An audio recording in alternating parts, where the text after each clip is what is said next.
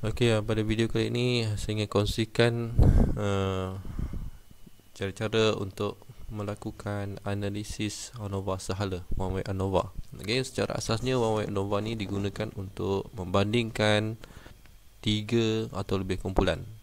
Okey, kita ingin mencari uh, sebagai contoh soalan kajian dia, adakah terdapat perbezaan yang signifikan uh, uh, tahap kepuasan hidup responden berdasarkan kumpulan umur. Sebagai contoh ha, itu tiga. Contohnya kumpulan umur kita ada tiga kumpulan umur. Kumpulan umur yang pertama kedua dan yang ketiga. Ha, kumpulan yang pertama contohnya 18 hingga 29 tahun 30 hingga 44 tahun. Tu yang kedua dan yang ketiga 45 tahun dan ke atas. Jadi di situ ada tiga kumpulan umur. So untuk kita menganalisisnya dia memerlukan kita menggunakan analisis ANOVA sahala So kalau contohnya kita melihat dari segi jantina saja lelaki dan perempuan dua kumpulan umur eh, dua kumpulan jantina. Jadi itu kita gunakan t-test okey? Ini kita gunakan ANOVA satu hala ataupun ANOVA sahala okey dalam one way ANOVA. Okey sebelum kita melakukan one way ANOVA pastikan beberapa syarat dipenuhi. One way ANOVA ni adalah uh, analisis parametrik. So keperluan ataupun syarat uh, analisis parametrik ini perlulah dipenuhi. Ya, sebagai contoh data berterabur secara normal kehomogenan variant ataupun homogeneity, homogeneity of variant okey pastikan dipenuhi dan kita punya data kita yang kita ingin uh, analisis tu adalah berbentuk uh, interval dan ratio okey baru dia boleh menggunakan uh, analisis uh, parametrik sekiranya data kita tidak berterabur secara normal contohnya dalam uh, testing of normality uh, kita punya skewness kurtosis kita tidak menunjukkan data kita itu berterabur secara normal secara automatik kita kena menggunakan analisis non parametrik yang dinamakan sebagai Kruskal Wallace test. Okey itu alternatifnya. Okey kita fokus kepada ujian parametrik yang ingin kita uh, lihat pada video kali ini. Okey, contoh persoalan kajian untuk uh, uh, ANOVA sahala ni saya bagikan satu contoh. Uh, adakah terdapat perbezaan yang signifikan tahap kepuasan hidup dalam kalangan responden mengikut kumpulan umur? Ha, sebagai contoh kumpulan umur ni adalah tiga kumpulan kita tetapkan sebagai contoh. Kita nak lihat eh, responden berumur 18 hingga 29 tahun, 30 hingga 45 tahun dan 45 tahun ke atas ni adakah tahap kepuasan hidup eh, mereka berbeza mengikut kumpulan umur. Ha, tahap-tahap umur yang tersebut. Ha, so itu yang kita ingin lihat dalam kajian kita. Contohnya tahap kepuasan kendiri mengikut kumpulan umur. Kumpulan umur ada tiga sebagai contoh. So uh, kita akan menggunakan ANOVA sehala. Ha, adakah persoalan? Boleh tak kita gunakan t-test sebagai contoh? T-test dan t-test. Eh? Pengulangan melakukan uh, menggunakan t-test tersebut, dia mendedahkan kita melakukan type 1 error. Okay? Ataupun uh, ralat jenis 1. Okay? Okay, kita fokus kepada one way ANOVA. Okay, uh, di situ kita dah ada yang penting kita dah uh, compute kita punya construct. Sebagai contoh di sini TOT hidup maksudnya total score lah ni. Eh saya labelkan TOT itu sebagai total score. Kita dah total score kan ke semua item-item yang mewakili construct uh, kepuasan hidup eh. Ya, ini adalah construct uh, tekanan perasaan. Sebagai contoh TOT rasa ni uh, tekanan perasaan. Kita tengok secara kumpulan umur tersebut berbeza tak? Dia punya dari segi aspek tekanan perasaan. Eh, ini kepuasan kendiri. Eh, ini keinginan bersosial. Okay? ha, yang penting kita dah uh, apa yang kita buat di transform ni kita dah compute data kita mengikut construct yang terdapat dalam kajian kita. Okey? Uh, kita dah ada construct kita dah ada kumpulan umur uh, kita dah uh, uh, menguji normaliti dia. Uh, tapi saya tak tunjukkan bagi bagaimana cara nak uji normaliti ni. Tengok skewness dan kurtosis uh, nilai dia. Adakah data kita berterabur secara normal ataupun tidak. Tetapi di sini dalam ANOVA ni nanti kita akan tengok uh, kita punya homogeneity of variant. Adakah variant kita adalah homogen eh, yang bolehkan kita melakukan uh, parametric test okey okey kita teruskan saja untuk melakukan ANOVA sehala ni. Kita analyze okey compare means one way ANOVA okey itu dia punya langkah. Okey kita nak kaji mana konstruk kita. Konstruk yang ingin kita lihat ataupun kaji. Okey. Diri sosial okay, faktor yang kita ingin kaji tadi adalah kumpulan umur. Kumpulan umur kita masuk dalam faktor uh, kontras ini tidak ada apa-apa perubahan dalam posok. Okay, dalam posok ni dia ada yang lazimnya kita gunakan adalah sama ada Shefe, Turkey ataupun Benfaroni itu yang paling biasa kita gunakan okay, dalam kajian sains sosial. Okay, apabila kita menggunakan uh, Shefe ni uh, kita punya nilai n bagi kumpulan dalam kalangan kumpulan dengan kumpulan yang lain uh, boleh berlaku perbezaan. Okey. Kalau kita gunakan teki okey nilai ataupun nilai n ataupun bilangan bagi ahli dalam kumpulan yang kita telah bahagi-bahagikan tadi tu mesti uh, sama. Okey. Pada Bonferroni ni adalah bagi nilai n yang kecil bagi setiap kumpulan. Kalau kita punya responden uh, ramai, n kita ramai, so kita dan tidak seimbang di antara kumpulan dengan kumpulan, kita gunakan Sheffield saja. Okay. Salah satu, eh tak perlu kita klik kedua-duanya. Okey, gunakan salah satu. Contoh ini saya nak gunakan Sheffield. Okay, contoh. Okey, continue option kita nak lihat data deskriptif dia homogeneity of variant test yang kita nak lihat adakah kita punya um, data kita homogen okey means plot. Kita akan tengok graf macam tu. Okey yang lain tidak ada. Okey itu saja. Okey kita continue. Yang lain okey tekan okey saja. Apabila kita tekan okey okey alright dia akan keluar. Yang pertama jadual deskriptif Okey. Jadual deskriptif ini dia akan menunjukkan kita kepada kita keseluruhan uh, konstruk yang dalam kajian kita mengikut pembahagian umur tiga kumpulan umur ni. Okey, nampak tak? Okey. Okey, dan nilai n dia dan nilai min. Nilai min dia cuba kita perhatikan 17.93 yang kumpulan yang kedua ni 17.56 86 17.65 19 yang tertinggi di sini adalah kumpulan umur yang pertama 17.932 bagi konstruk kepuasan hidup. Adakah kita boleh hukum ataupun jatuh hukum di sini ataupun kita tentukan bahawa uh, dari aspek uh, daripada konstruk kepuasan hidup ni kumpulan umur responden 18 hingga 29 tahun ni lebih tinggi berbanding yang lain.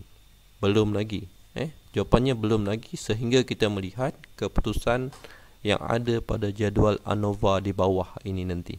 Okey, yang lain sebagai contoh uh, konstruk uh, tekanan perasaan 22.62 21.63 22.94. Uh, kalau secara asasnya min yang tertinggi adalah 22.9485. Tapi kita belum boleh untuk jatuhkan hukuman bahawa terdapat perbezaan bagi kumpulan umur dalam bagi konsep ini eh, belum dapat. Sehingga kita melihat kepada uh, keputusan pada ANOVA ini nanti. Okey, uh, seterusnya kita lihat kepada uh, test of homogeneity of variant. Kita ada uh, konstruk kepuasan hidup tekanan perasaan kepuasan kendiri keinginan bersosial sebagai contoh.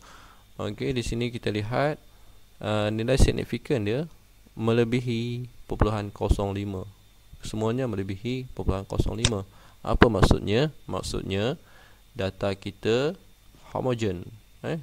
Uh, kehomogenan varian itu dipenuhi. Okey seterusnya kita lihat kepada uh, keputusan ANOVA. Uh, keputusan ANOVA kita TOT hidup nilai SIG ni. Uh, 0.377 besar daripada 0.05 apa maksud dia? Maksudnya kumpulan yang kita bandingkan itu tidak ada perbezaan yang signifikan. Walaupun pada dasarnya nilai min dia berbeza di antara kumpulan dengan kumpulan. Tetapi uh, keputusan dalam jadual ANOVA ni menunjukkan tidak berlaku perbezaan. Kerana dia melebihi 0.05 Okey, 0.05 tu memberi maksud apa? Uh, iaitu kebarangkalian kita ataupun penggaji melakukan ralat jenis 1 ataupun type 1 error adalah sebanyak 5%. Okey, kita kembali kepada keputusan ujian ANOVA ini. Uh, yang kedua adalah perpuluhan 222 juga lebih besar daripada 0.05 maksudnya tidak berlaku perubahan dal- uh, de- dalam kalangan kumpulan dengan kumpulan yang lain dan uh, kepuasan diri uh, kepuasan diri ini pun 096 maksudnya lebih besar daripada 0.05 dan uh, bagi konstruk uh, keinginan bawah sosial ini terdapat perbezaan yang signifikan kerana nilai kosong ataupun perpuluhan 011 ni lebih kecil daripada 0.05. Okey, untuk ANOVA harus diingat apabila kita uh, significant value ni lebih besar daripada 0.05 uh, tidak perlu kita melaporkan keputusan post hoc test.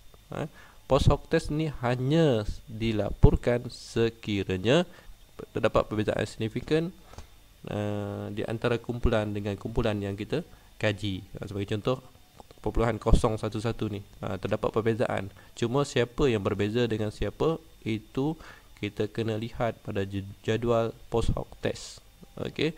Uh, sekiranya tidak berlaku perbezaan so tidak perlu kita melihat ke, melihat kepada post hoc test result uh, so di sini kita hanya berminat untuk melihat uh, bagi konstruk keinginan bersosial ni. Siapa yang berbeza dengan siapa? Okey mari kita lihat.